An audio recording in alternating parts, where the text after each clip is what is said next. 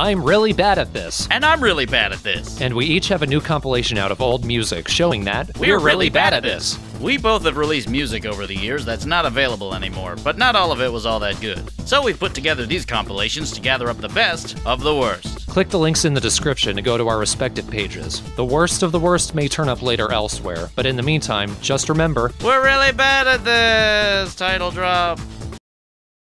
We both have released music over the years that's not available anymore, but not all of it was good. And now, so many years later, we're still not very good.